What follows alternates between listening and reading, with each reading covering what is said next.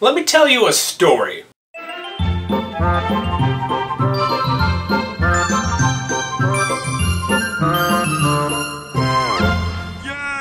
Hello everyone, welcome to Yaga's True Stories. Today, I'm going to talk to you about the day from hell. When I was 19, I was picking up my Mustang from the shop. It had failed emissions twice, and I needed it to pass emissions. So I took it to a specialty shop, went there to go pick it up. The car passed.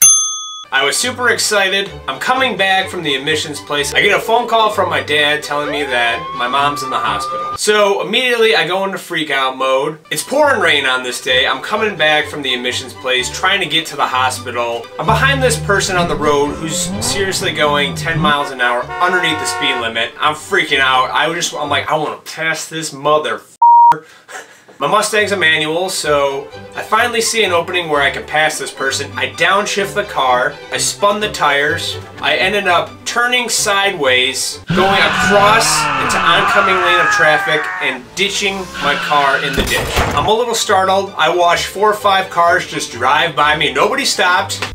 Go f yourself. I was able to drive out of the ditch. I pulled into this little, I don't know, some kind of truck area where cement was being poured. I'm on the phone with the girl I was dating at the time. I was supposed to see her that day. I just let her know I was in this car wreck. I totaled my car. This guy walks out. What the hell you think you're doing? He's like, excuse me, you need to move your car. I've got trucks coming in and out. I go, uh, cool, man. I just ran my car off the road. I'll, I'll move it in just a minute, okay? This freaking guy whips open my door and is like, don't you sass me, boy! And like, starts sticking his finger in my face, like threatening to kick my ass. This guy was like a straight up dude from Deliverance. The girl on the phone's like, what the is going on? And I'm like, this mother is crazy. So I just... I pulled out of there and drove a little bit down the road. The car was barely running. I pull off in the side of the road. Then I get a call from my dad.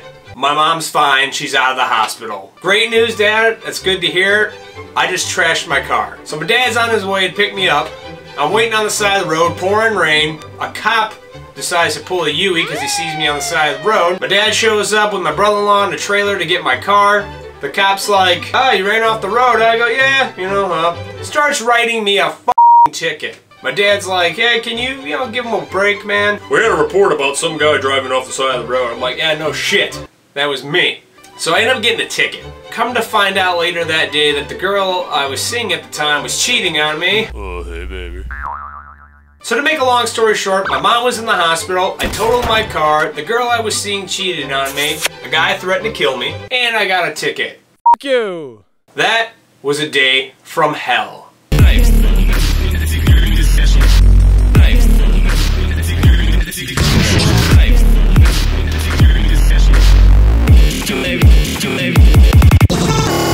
Good news of the day, my car passed emissions.